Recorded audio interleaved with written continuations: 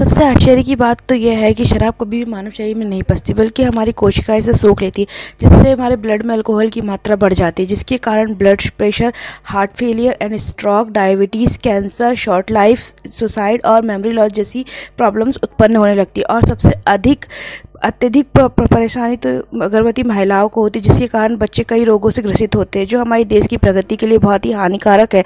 आज ही अगर अपनी नशे की हालत को छोड़िए और देश की प्रगति में अपना योगदान दिए। जय हिंद, जय भारत।